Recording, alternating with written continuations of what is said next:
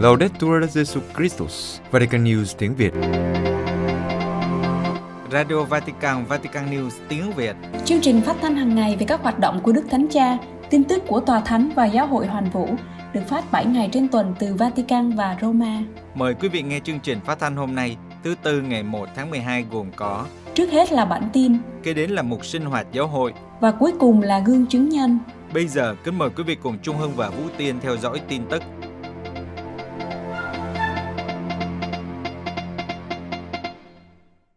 Cha mừng lễ Thánh Andre, bốn mạng giáo hội chính thống Constantinople. Vatican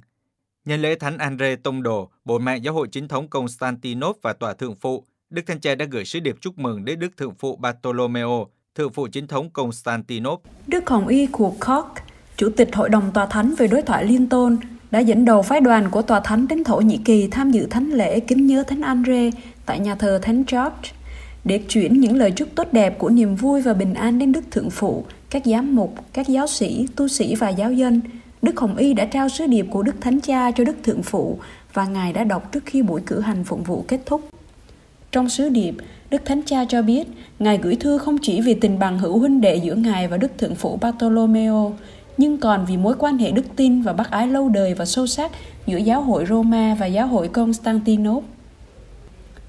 Như truyền thống lâu đời, Tòa Thượng phụ Constantinople thường gửi phái đoàn đến Roma để mừng lễ Thánh Phêrô, bốn mạng giáo hội công giáo và Tòa Thánh cũng gửi một phái đoàn Constantinople để mừng lễ Thánh Andre, bốn mạng của giáo hội chính thống Constantinople. Đức Thánh Cha nhắc lại niềm vui trong chuyến thăm Roma của Đức Thượng phụ Bartolomeo mới đây, khi các ngài không những chia sẻ mối quan tâm chung về hiện tại và tương lai của thế giới, mà còn thể hiện cam kết chung trong việc giải quyết các vấn đề có ý nghĩa quan trọng với cả gia đình nhân loại, bao gồm việc chăm sóc thụ tạo, giáo dục thế hệ tương lai, đối thoại giữa các truyền thống tôn giáo khác nhau và theo đuổi hòa bình. Đức Thánh Cha mời gọi, quyết tâm tìm cách làm cho sự hiệp thông của chúng ta trở nên hữu hình. Ngài nói, trong khi nhìn nhận rằng vẫn còn những vấn đề thần học và giáo hội học ở trọng tâm của công việc đối thoại thần học đang diễn ra của chúng ta. Tôi hy vọng rằng các tín hữu công giáo và chính thống giáo có thể ngày càng hợp tác với nhau trong những lĩnh vực không chỉ có thể mà còn thực sự đòi buộc chúng ta phải làm. Kết thúc thư, Đức Thánh Cha nhấn mạnh rằng sự hiệp nhất trọn vẹn mà chúng ta khao khát là một món quà từ Thiên Chúa. Nhờ ân sủng của Chúa Thánh Thần, Ngài cầu xin Chúa giúp chúng ta sẵn sàng đón nhận món quà này qua lời cầu nguyện, sự hoán cải nội tâm và cởi mở tìm kiếm và trao ban sự tha thứ. Ý cầu nguyện của Đức Thánh Cha trong tháng 12, cầu nguyện cho các giáo lý viên. Vatican, trong video ý cầu nguyện cuối cùng trong năm 2021, Đức Thánh Cha tập trung vào thừa tác vụ, sứ mạng và ơn gọi của các giáo lý viên, cảm ơn họ đã nhiệt tình truyền đạt đức tin và khuyến khích họ loan báo tin mừng bằng những ngôn ngữ mới và theo những cách thức mới. Nhìn nhận sứ mạng quan trọng của giáo lý viên cho việc truyền tải và đào sâu đức tin, Đức Thánh Cha cũng nhấn mạnh rằng đây là một ơn gọi, bởi vì là giáo lý viên có nghĩa là bạn phải là một giáo lý viên, chứ không phải làm giáo lý viên. Đức Thánh Cha cảm ơn lòng nhiệt thành của các giáo lý viên khi phục vụ giáo hội và khuyến khích họ tiếp tục loan báo tin mừng bằng chính đời sống của họ, qua sự hiền lành, với ngôn ngữ mới và mở ra với những cách thức mới mẻ. Đức Thánh Cha mời gọi giáo hội cầu nguyện cho các giáo lý viên, những người được mời gọi để loan báo lời Chúa, xin cho họ trở nên những chứng tá của lời Chúa bằng lòng can đảm và sự sáng tạo và nhờ quyền năng của Chúa Thánh Thần với niềm vui và bình an sâu xa. Một ví dụ về một ngôn ngữ mới cho việc dạy giáo lý được tìm thấy trong video ý cầu nguyện của Đức Thánh Cha cho tháng 12, cho thấy các giáo lý viên và những người trẻ đang làm việc cùng nhau trên một bức tranh tường. Với sơn xịt và thùng sơn, hàng chục trẻ em và thanh thiếu niên cùng với các giáo lý viên của họ đang giúp nghệ sĩ người Ý Paolo Colasanti, nghệ danh là Gozo, tạo ra một bức tranh sáng tạo về cảnh rửa chân trên bức tường của trung tâm thanh thiếu niên tại giáo xứ Đức Mẹ Coromoto của Roma. Hồi tháng 5 năm nay, Đức Thánh Cha đã thiết lập thừa tác vụ giáo lý viên như là một sự nhìn nhận thể chế của việc phục vụ này, một sự phục vụ tiếp diễn qua lịch sử của giáo hội và là một ơn gọi, một sứ vụ. Đức Thánh Cha đã giải thích điều này trong video. Tại nhiều giáo phận, ở nhiều lục địa, việc truyền giảng tin mừng căn bản được trao phó cho một giáo lý viên. Vì thế, chúng ta cần những giáo lý viên tốt, vừa là bạn đồng hành, vừa là những nhà sư phạm. Tòa Thánh phát động chiến dịch cho người khuyết tật. Vatican vào hôm thứ Hai ngày 29 tháng 11 năm 2021, Bộ Giáo dân Gia đình và Sự sống phát động chiến dịch I am church, tôi là giáo hội dành cho người khuyết tật, với mục đích giúp mọi người hiểu hơn về người khuyết tật. Họ cũng là những chứng nhân của tin mừng. Chiến dịch bắt đầu vào ngày 6 tháng 12 và diễn ra trong 5 tuần. Mỗi tuần, Bộ Giáo dân Gia đình và Sự sống sẽ cho phát hành một video với nội dung nói về chứng tá của các Kitô hữu khuyết tật trong các cộng đoàn giáo hội. Chính người khuyết tật sẽ kể lại kinh nghiệm đức tin của họ và khẳng định tôi là giáo hội. Trong sứ điệp gửi đến những người khuyết tật nhân ngày quốc tế dành riêng cho họ, Đức Thánh Cha đã lưu ý rằng bí tích rửa tội mang lại cho mỗi người trong chúng ta trở thành thành viên trọn vẹn của giáo hội, không có sự loại trừ hoặc phân biệt đối xử, tất cả đều có thể khẳng định tôi là giáo hội. Đức Thánh Cha còn nói thêm rằng giáo hội luôn yêu thương người khuyết tật, giáo hội thực sự là ngôi nhà của người khuyết tật và trong việc loan báo tin mừng, giáo hội cần những người khuyết tật để có thể hoàn thành sứ vụ. Chính trong tinh thần này, Bộ Giáo dân Gia đình và Sự sống cho phát hành các video với mục đích chỉ ra những đóng góp mà người khuyết tật có thể thực hiện cho cộng đoàn giáo hội trong cuộc sống thường ngày như hoạt động loan báo tin mừng của một số bạn trẻ khiếm thính ở Mexico, đan viện ở Pháp với một số nữ tu mắc hội chứng đau, một nhóm bạn trẻ Ý bị thiểu năng trí tuệ tham gia Ngày Giới Trẻ Thế Giới. Đây chỉ là một số ví dụ về một thực tế rộng lớn hơn mà chiến dịch dự định bắt đầu chỉ ra. Bà Gabriela Gambino, Phó Tổng Thư ký của Bộ Giáo dân Gia đình và Sự sống nhận xét, Chúng tôi tin chắc rằng nếu chúng ta chú ý lắng nghe tiếng nói của các anh chị em khuyết tật, thì cộng đoàn giáo hội sẽ thực sự phong phú. Các video sẽ được phát trên các kênh YouTube của Vatican News và Bộ Giáo dân Gia đình và Sự sống. Các giám mục Úc kêu gọi bình đẳng và hòa nhập cho người khuyết tật. Sydney, trong tinh thần hướng đến Ngày Quốc tế Người Khuyết tật ngày 3 tháng 12, Hội đồng Giám mục Úc mời gọi các giáo sứ chào đón và lắng nghe tất cả mọi người, lên án mọi hình thức bất khoan dung và loại trừ người khuyết tật. Trong một sứ điệp có tựa đề Chúng ta không phải họ, khuyến khích sự tham gia tích cực được ký bởi đức cha Donald Sproxon, phụ trách về các vấn đề liên quan đến người khuyết tật của Ủy ban giám mục về công bằng xã hội. Các giám mục Ý viết, cả nước có 4,4 triệu người khuyết tật, vì vậy Ngày Quốc tế Người Khuyết Tật nhằm mục đích giúp xã hội nhận thức và gần gũi hơn với những người gặp nhiều khó khăn hơn những người khác. Những người khuyết tật cùng với gia đình của họ thường bị thiệt thòi. Vì vậy, Giáo hội có nhiệm vụ nhìn nhận họ là những anh chị em được Thiên Chúa yêu thương và có chỗ đứng trong cộng đoàn. Đức cha Donald Sproxon nhấn mạnh rằng, vấn đề người khuyết tật không chỉ là khuyết tật, nhưng là sự thiếu hiểu biết, bất quan dung, bất công và loại trừ, tức đi phẩm giá và phẩm tính của con người. Người khuyết tật không chỉ là đối tượng cần được chăm sóc, nhưng còn là tác nhân cho chính sự sống của họ, là những người có quyền để lắng nghe.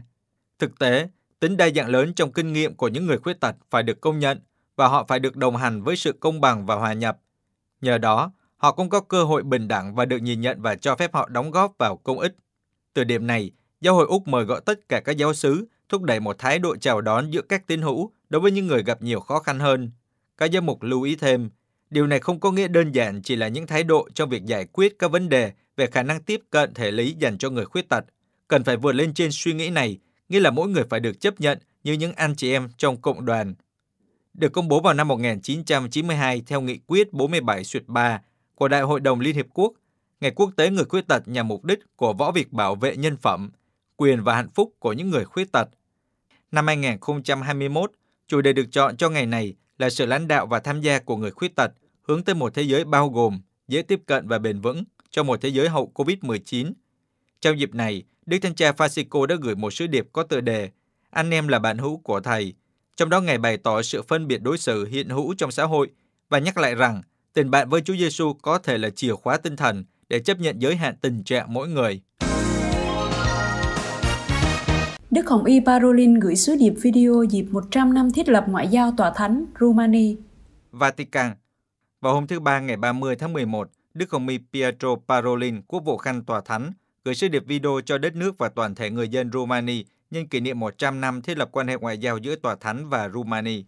Mở đầu sứ điệp, Đức Hồng Y Parolin nói, Tôi vui mừng gửi lời chào thân ái đặc biệt tới quốc gia và toàn thể người dân Rumani, tới những ai mà tôi đã có thể gặp gỡ trong khi cử hành thánh lễ và tất cả những người Rumani đang sinh sống ở trong và ngoài Rumani. Một lời chào rất thân ái nhân dịp kỷ niệm đặc biệt quan trọng, kỷ niệm 100 năm quan hệ ngoại giao giữa Tòa Thánh và Rumani. Đức Hồng Y nói rằng, Dịp kỷ niệm này không cần phải nhớ lại toàn bộ lịch sử, một lịch sử mà giống như tất cả lịch sử của mọi quốc gia đều có ánh sáng và bóng tối. Tuy nhiên, Trong lịch sử của quốc gia này, Ngài muốn nhấn mạnh chiều kết đức tin vĩ đại, đặc tín của người Rumani đã có từ khi quốc gia đón nhận tin mừng. Đặc tính đức tin vĩ đại này đã không bị lu mờ ngay cả trong những năm đen tối sau Thế chiến thứ hai. Quốc vụ Khanh Tòa Thánh mong dịp kỷ niệm 100 năm này thực sự là một cơ hội để Chúa chúc lành cho tất cả, những người cầm quyền, người dân và trên hết là cho những người đang gặp nhiều khó khăn và những người cần sự trợ giúp đặc biệt từ Thiên Chúa. Đức Hồng Y nói, Xin Chúa chiếu tỏa thánh nhanh người trên tất cả và ban hồng ân, sự bình an cho đất nước. Tôi tin rằng với những lời này, như chúng ta biết rõ đã nói lên tất cả, bởi vì sự bình an là tất cả điều tốt lành này cho phép mỗi người chúng ta và tất cả mọi người mỗi cá nhân và mỗi cộng đồng quốc gia sống theo phẩm giá con thiên chúa và cho phép chúng ta phát triển như những con người. Đức hồng y kết thúc sứ điệp với lời mời gọi hãy giữ vững đức tin một đức tin kiên cường một đức tin mạnh mẽ biết đối diện với khó khăn và điều đó thực sự trở thành ánh sáng và chứng tá cho châu âu của chúng ta và cho toàn thế giới. Xin Chúa chúc lành và đồng hành với tất cả mọi người trong cuộc sống hàng ngày. Các giám mục Philippines kêu gọi cầu nguyện cho cuộc bầu cử năm 2022. Philippines, các giám mục Philippines đã phổ biến một kinh nguyện cho cuộc bầu cử quốc gia và địa phương vào năm 2022 với ý nguyện cầu xin cho các cuộc bầu cử quốc gia và địa phương sắp tới có thể thực sự phản ánh ý muốn của Chúa, đấng hướng dẫn vận mệnh của các quốc gia. Theo Đức Tổng giám mục Romulo Valles, Chủ tịch sắp mãn nhiệm của Hội đồng Giám mục Philippines, kinh nguyện này tập trung vào 16 giá trị được ghi trong phần mở đầu của Hiến pháp Philippines. Ủy ban giám mục về phụng vụ đã yêu cầu các tín hữu đọc một kinh cầu nguyện cho việc chống lại COVID-19 trước thánh lễ. Kinh cầu nguyện cho bầu cử năm 2022 có thể được đọc vào mỗi Chủ nhật đầu tiên và thứ ba của tháng, trong khi kinh cầu nguyện cho Thượng Hội đồng sẽ được đọc vào mỗi Chủ nhật thứ hai và thứ tư của tháng. Hội đồng mục vụ về bỏ phiếu có trách nhiệm cơ quan chính thức kiểm soát việc bỏ phiếu do giáo hội khởi xướng và điều hành, đã yêu cầu Hội đồng Giám mục thông qua chiến dịch sức mạnh của cầu nguyện để kêu gọi dân chúng cùng nhau cầu nguyện cho các cuộc bầu cử hòa bình, đáng tin cậy và minh bạch. Kinh nguyện được soạn bởi Đức Tổng Giám mục Socrates Villegas, nguyên Chủ tịch Hội đồng Giám mục. Trong những tuần gần đây, nhiều nhà lãnh đạo công giáo đã kêu gọi cử tri bỏ phiếu cho những ứng cử viên sáng giá, những người sẽ lãnh đạo đất nước với sự trung thực và chân thành. Cha Cherry Osborne Nhà truyền giáo dòng ngôi lời nói rằng, như là một dân tộc và với tư cách là một quốc gia, chúng ta đừng từ bỏ hy vọng rằng một thế hệ lãnh đạo mới có thể vươn lên và tỏa sáng trên đất nước của chúng ta. Chúng ta không được hoài nghi về sự phục vụ chân chính, lòng tốt và sự hy sinh của các nhà điều hành của chúng ta. Đừng ngại mất lòng và đừng nhượng bộ chính trị bẩn thỉu. Tất cả chúng ta đều làm việc vì ước mơ của mình và chúng ta tiếp tục tin rằng ước mơ sẽ thành hiện thực và điều kỳ diệu có thể xảy ra. Quý vị vừa theo dõi bản tin ngày 1 tháng 12 của Vatican News tiếng Việt. Vatican News tiếng Việt Chuyên mục Sinh hoạt giáo hội Giáo hội Công giáo tại Ship và Hy Lạp trước chuyến viếng thăm của Đức Thánh Cha. Kính thưa quý thính giả, từ ngày mai 2 tháng 12, Đức Thánh Cha sẽ bắt đầu chuyến tông du thứ 35 tại nước ngoài với cuộc viếng thăm thủ đô Nicosia của Cộng hòa Ship 2 ngày, từ ngày 2 đến 4 tháng 12, và thăm thủ đô Athens và đảo Lesbos của Hy Lạp từ ngày 4 đến 6 tháng 12. Hai nước Ship và Hy Lạp có mối quan hệ lịch sử, văn hóa và tôn giáo chặt chẽ từ thời cổ đại. Bên cạnh sắc tộc, người Ship và người Hy Lạp có chung di sản, ngôn ngữ và tôn giáo, mặc dù qua nhiều thế kỷ do vị trí địa lý và sự hiện diện đáng kể của các nhóm thiểu số từ khu vực Trung Đông, đảo Ship đã có nhiều liên hệ với Trung Đông hơn. Thật vậy, Ship được coi là cầu nối giữa phương Đông và phương Tây. Kitô giáo ở Ship và Hy Lạp bắt nguồn từ thời các thánh tông đồ, cụ thể là với thánh Phaolô, người đã giảng đạo ở Hy Lạp nhưng cũng loan báo tin mừng ở Ship cùng với thánh Barnaba, người được coi là người sáng lập giáo hội Ship. Hơn nữa, cả hai quốc gia đều theo truyền thống chính thống giáo, với chính thống giáo chiếm đa số. Tại Cộng hòa Ship, quốc gia có diện tích 9.251 cây số vuông, tín hữu công giáo chiếm 4,75% trong 850.000 dân, tương đương với 38.000, và phần lớn thuộc nghi lễ Latin. Phần lớn trong số họ là hậu duệ của các nhà thập tự chinh, những người đã định cư ở đó từ thế kỷ 12 sau cuộc thập tự chinh lần thứ ba vào năm 1191 và sự sụp đổ của Jerusalem vào năm 1187 các tín hữu công giáo Latin phát triển mạnh cho đến khi đạo Ship bị Thổ Nhĩ Kỳ chinh phục vào năm 1570 đến 1573. Khi hàng ngàn người bị giết, các nhà thờ bị biến thành đền thờ Hồi giáo và giáo hội công giáo Latin bị giải thể. Tuy nhiên, họ sống sót qua sự cai trị của đế chế Ottoman, một phần lớn là nhờ dòng Francisco đã có mặt trên đảo Ship từ khi thành lập vào thế kỷ 13 và vẫn đóng vai trò trung tâm trong giáo hội địa phương ngày nay. Chính sách khoan dung dưới thời cai trị của người Anh sau đó đã củng cố cộng đồng công giáo Latin, cho phép họ hội nhập hoàn toàn vào xã hội ship. Quá trình giải phóng đã tiến triển hơn nữa kể từ khi đảo này độc lập vào năm 1960, khi hiến pháp mới chính thức nhìn nhận giáo hội công giáo và ở cấp độ chính trị dành một ghế trong quốc hội cho mỗi cộng đồng trong ba cộng đồng công giáo hiện diện trên đảo. Dù cuộc xâm lược của Thổ Nhĩ Kỳ vào năm 1974 khiến nhiều gia đình công giáo phải rời bỏ miền Bắc, cộng đồng công giáo Latin ở Sip vẫn tiếp tục phát triển mạnh, đóng góp tích cực vào sự phát triển của đất nước, đặc biệt là trong lĩnh vực giáo dục cộng đồng công giáo Latin cũng rất tích cực trong lĩnh vực xã hội, thông qua các tổ chức từ thiện giúp đỡ những người nghèo và dễ bị tổn thương nhất, người tị nạn và người lao động nước ngoài. Giáo hội Công giáo Latin ở Ship thuộc quyền tài phán của Tòa Thượng phụ Latin của Jerusalem và được giao cho một đại diện của Tòa Thượng phụ Latin, hiện nay là cha Jackie Cray dòng Francisco.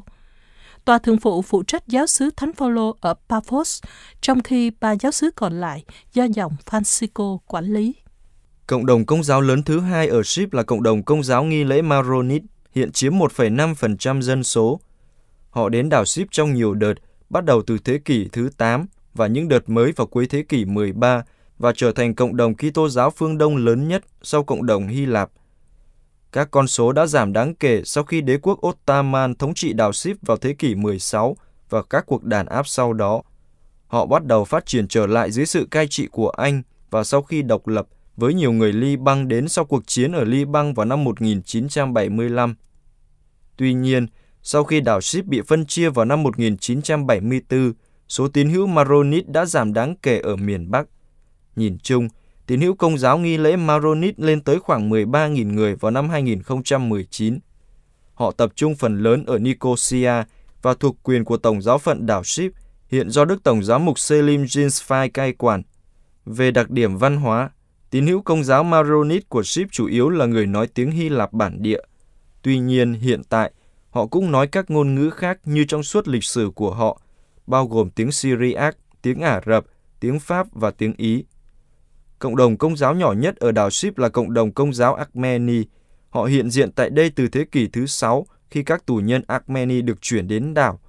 Sau đó, nhiều Kitô hữu Armeni, chủ yếu thuộc giáo hội chính thống tông truyền Armeni, đến đảo Ship, đặc biệt vào thế kỷ 13. Tín hữu công giáo Armeni cũng được hưởng lợi dưới sự thống trị của Anh. Nhiều người Armeni đến Ship trong các cuộc thảm sát của Thổ Nhĩ Kỳ trong Thế chiến thứ nhất –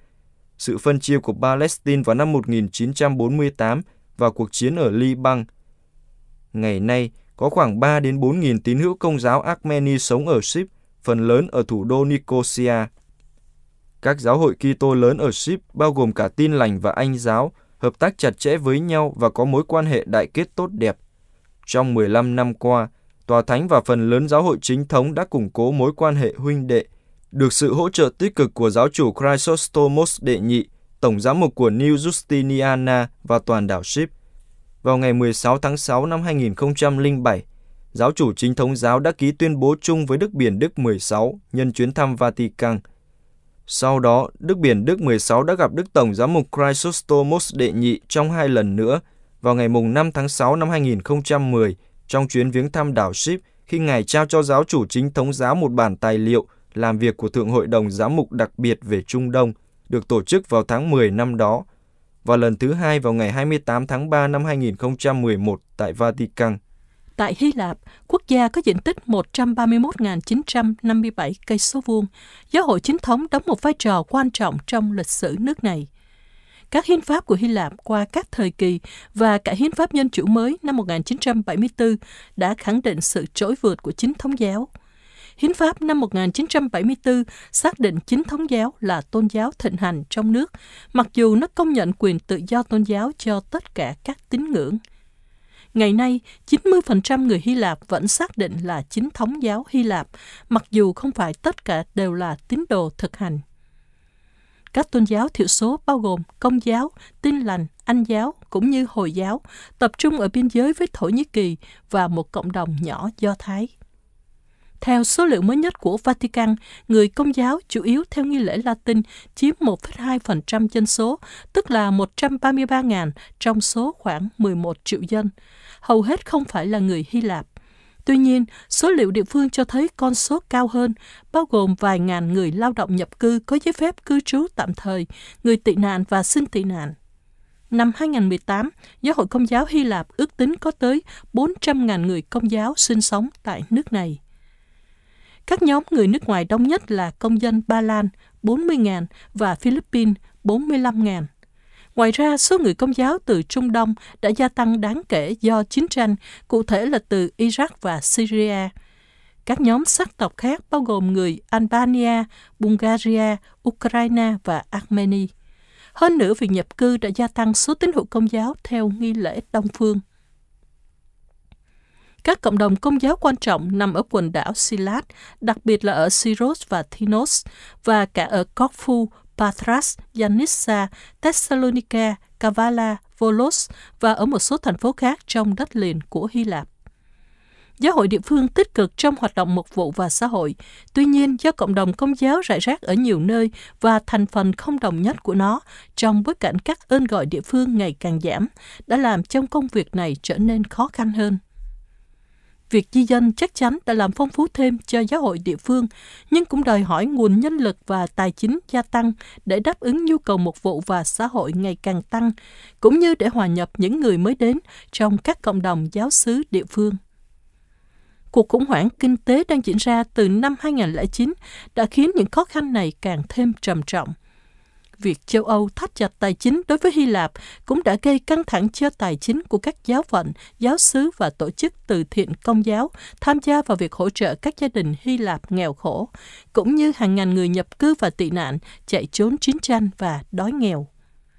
Với việc chi phí gia tăng và số tiền dân cúng vào Chúa Nhật giảm, giáo hội công giáo đang phải trả thuế cao hơn đáng kể so với trước đây. Các giám mục công giáo Hy Lạp đã nhiều lần kêu gọi chú ý đến những khó khăn này các ngài cũng chỉ trích các chính sách thắt lưng buộc bụng do châu Âu áp đặt đã làm gia tăng tình trạng nghèo đói trên khắp đất nước, như mạng lưới Caritas địa phương xác nhận. Thật vậy, Caritas Hy Lạp phối hợp với Caritas quốc tế và các tổ chức từ thiện công giáo khác đã đi đầu trong việc ứng phó với khủng hoảng và hỗ trợ các nhu cầu của người nghèo và những người dễ bị tổn thương nhất, bao gồm cả những người di cư ở quần đảo Aegean và ở lục địa Hy Lạp Công việc này đã được tiếp tục trong đại dịch COVID-19. Mối quan hệ đại kết giữa công giáo và giáo hội chính thống giáo chiếm đa số ở Hy Lạp đã đạt được một số tiến bộ trong những năm gần đây. Một bước tiến quan trọng là cuộc hành hương năm thánh của Thánh giáo Hoàng Gioan Phaolô II theo dấu chân của Thánh Phaolô Tông Đồ vào năm 2001. Đây là chuyến thăm đầu tiên của một giáo hoàng tại đất nước này. Điểm nổi bật của sự kiện lịch sử đó là việc Thánh giáo hoàng xin tha thứ cho việc cướp phá Constantinople vào năm 1204 bởi cuộc thập tự trinh và việc ký kết tuyên bố chung về nguồn gốc Kitô giáo ở châu Âu với giáo chủ chính thống Hy Lạp Christodoulos vào ngày 4 tháng 5 năm 2001. Kể từ đó, Tòa Thánh và Giáo hội chính thống tự trị của Hy Lạp đã tìm kiếm sự hợp tác chặt chẽ hơn trong lĩnh vực mục vụ và trong các vấn đề thực tế chung, đặc biệt là trong bối cảnh của Liên minh châu Âu – Điều này càng được chứng thực bằng tuyên bố chung được ký bởi Đức Thánh Cha Francisco, giáo chủ chính thống giáo Hy Lạp Hieronymus đệ nhị và thượng phụ Bartolomeo đệ nhất của Constantinople trong chuyến thăm trại tị nạn Moria trên đảo Levos của Hy Lạp vào ngày 16 tháng 4 năm 2016. Trong tuyên bố đó, ba nhà lãnh đạo của giáo hội đã cùng kêu gọi cộng đồng quốc tế sử dụng mọi cách để đảm bảo rằng các cá nhân và cộng đồng, bao gồm cả Kitô hữu, vẫn ở lại quê hương của họ và hưởng quyền cơ bản được sống trong hòa bình và an ninh, đồng thời dấn thân kiên định và hết lòng để tăng cường nỗ lực của họ để thúc đẩy sự hiệp nhất trọn vẹn của tất cả các Kitô hữu. Đức Hồng Y Leonardo Sandri, Tổng trưởng Bộ các giáo hội Đông Phương đã nhắc lại hy vọng của Tòa Thánh về sự cộng tác nhiều hơn nữa giữa hai giáo hội, đặc biệt trong việc phục vụ Bắc Ái và trong việc quảng bá các giá trị Kitô giáo trong xã hội Hy Lạp nhân dịp Ngài thăm đất nước này vào tháng 11 năm 2019.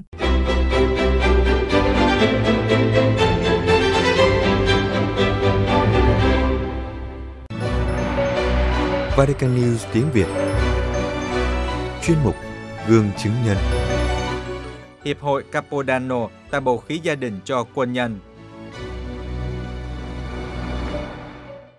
Hiệp hội Cabodano có trụ sở tại San Diego, Hoa Kỳ. Khởi đầu từ sáng kiến nảy sinh trong cuộc hành hương của hai sĩ quan hải quân. Mục đích ban đầu của nhóm nhỏ này là cung cấp các hoạt động mục vụ giúp những người công giáo trong quân đội sống đức tin một cách trung thành hơn. Giờ đây nhóm đã phát triển, trở thành một hiệp hội và các thành viên của nhóm không chỉ là những sĩ quan đang phục vụ quân đội, nhưng mở rộng tới các gia đình quân nhân, cựu chiến binh và những người không phục vụ quân đội nhưng muốn hỗ trợ những người lính có trụ sở tại giáo xứ Thánh Bridget ở San Diego, California, Hoa Kỳ, gần một số căn cứ quân sự. Hội Cabodano tìm cách cung cấp bầu khí gia đình và nguồn lực cho những người công giáo đang phục vụ quân đội cũng như gia đình và bạn bè của họ để họ có thể hoàn thành nhiệm vụ và thực hành đời sống đức tin. Noren Domingo, vị đồng sáng lập hiệp hội cho biết, Hội Cabodano là tên của cha Vincent Cabodano, từng là linh mục của Hiệp hội Merinon và tuyên úy hải quân ở Việt Nam. Cha đã được quân đội Hoa Kỳ trao huân chương danh dự cao nhất và theo các thành viên của Hiệp hội, rất có thể một ngày nào đó cha sẽ được tuyên thánh vì đời sống chứng tá đức tin. Domingo nói trong một cuộc phỏng vấn. Chúng tôi muốn nhấn mạnh hành động theo đuổi sự nghiệp hoặc công việc của một cá nhân trong cuộc sống đời thường và tương quan với Chúa luôn song hành gắn bó với nhau. Tầm quan trọng của công đoàn là thúc đẩy tư duy và tạo ra một môi trường trong đó mọi người cảm thấy được khuyến khích và hỗ trợ. Trong vai trò lãnh đạo, chúng ta được dạy để có thể nhận được những lời khuyên hữu ích và tới lượt mình, chúng ta cũng có thể cố vấn cho người khác. Chính qua hai cấp độ đó, chúng ta thể hiện sự hiện hữu của chính mình. Chúng ta sẽ quan tâm đến sự phân định và hành động theo Chúa Kitô. Chúng tôi hy vọng tinh thần này được phản ánh trong công việc mà chúng tôi đang thực hiện nhằm xây dựng vương quốc Thiên Chúa trong không gian nghề nghiệp và trong môi trường sống. Vào năm 2018, Domingo thành lập hội Capodano cùng với David Murphy, một phi công hải quân trong lúc cả hai đang thực hiện chuyến hành hương trong các xứ mạng Tây Ban Nha ở California. Thời điểm đó, Domingo vừa tốt nghiệp Học viện Hải quân Hoa Kỳ. Domingo và Murphy cùng quan tâm đến những thách đố đối với những người lính công giáo đang thi hành nhiệm vụ trong quân đội. Chính vì có ý tưởng chung này mà cả hai đã quyết định thành lập một nhóm nâng đỡ những người lính công giáo. Hàng tháng, hội tổ chức các bữa ăn tối nơi các thành viên cùng lắng nghe, trò chuyện và tạo bầu khí cộng đoàn gia đình. Ở đây, người trẻ và người lớn tuổi cùng nhau chia sẻ những trải nghiệm thực tế của đời sống quân đội và đời sống đức tin theo những khía cạnh khác nhau. Domingo nói, Chúng tôi mời một người nào đó mới gia nhập quân đội hoặc một vị tướng đã nghỉ hưu đến chia sẻ cho các thành viên của hiệp hội trong bầu khí gia đình. Trong số những người đến chia sẻ, có Đức Tổng Giám mục Joseph Garface của Tổng giáo phận quân đội Hoa Kỳ. Ngài nói về linh đạo thời chiến. Đại úy Hải quân đã về hưu Adam Curtis, hiện là phó tế vĩnh viễn, nói về vai trò lãnh đạo theo mẫu gương Chúa Kitô.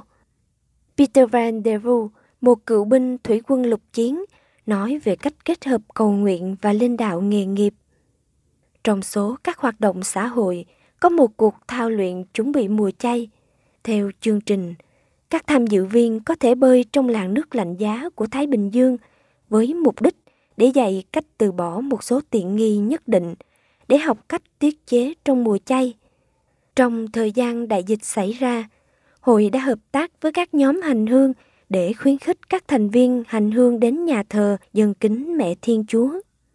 Ngoài ra, Hiệp hội còn tham gia nhiều hoạt động khác nữa như cuộc tuần hành bảo vệ sự sống, phản đối bạo lực. Domingo khẳng định, các thành viên đều ý thức những điều cha Capodano chỉ dạy. Cha cho thấy rằng ngay cả trong quân đội, giữa những cuộc chiến khốc liệt, trong những thời khắc khó khăn, thì việc thực hành đời sống thiêng liêng là điều có thể. Người đứng đầu hiệp hội luôn hy vọng qua việc gặp gỡ linh đạo của cha Cabodano và những buổi gặp gỡ chia sẻ,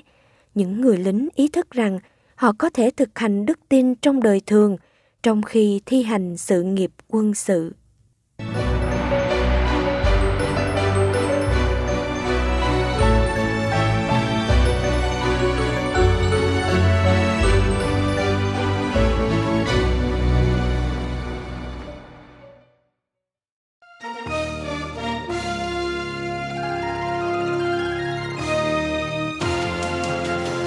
Cảm ơn quý vị đã chú ý lắng nghe chương trình Radio Vatican của Vatican News tiếng Việt. Xin Thiên Chúa chúc lành cho quý vị và toàn gia quyến.